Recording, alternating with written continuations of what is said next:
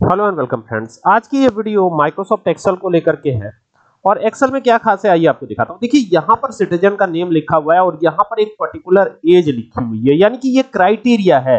60 years होना चाहिए। ठीक है? अब ये कोई बहुत मीनिंगफुल तो डेटा नहीं है, लेकिन एक आप इस, इसके माध्यम से नॉट इक्वल टू फॉर्मूला समझ सकते हैं। शायद आपने कभी यूज़ ना किया हो नॉट इक्वल टू तो उसको समझाने की कोशिश करूँगा। यहाँ देखिए, साठ साल एज है तो इनको कंसेशन मिलेगा। ठीक है? 44 एज है तो नहीं मिलेगा 19 एज है तो नहीं मिलेगा किसी एज में नहीं मिलेगा, केवल और केवल 60 साल में मिलेगा। तो ये फॉर्मूला यूज़ कैसे किया गया, इसे लगाया कैसे गया, आइए दिखाता हूँ।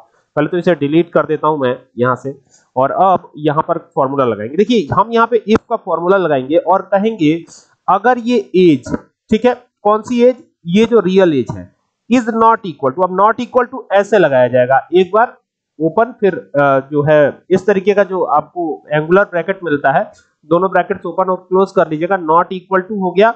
अब नॉट इक्वल टू तो कर लिया, लेकिन अब अगला जो कंडीशन है हमारा, यहाँ पे क्या देंगे? नॉट इक्वल टू तो कर दिया, लेकिन नॉट इक्वल टू 60 होना चाहिए, ठीक है? This age is not equal to 60 तो यहाँ पर डबल कॉमा में लिख दीजिएगा concession not allowed concession not allowed ठीक है?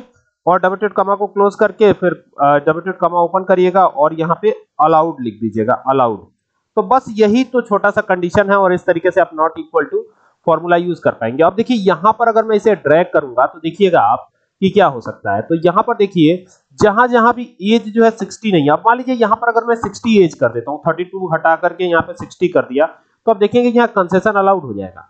तो ये नॉट इक्वल टू इस तरीके से यूज़ कर सकते हैं। इस तरह की कोई कंडीशन की ज़रूरत पड़े तो वहाँ पर नॉट इक्वल टू यूज़ किया जा सकता है ठीक है?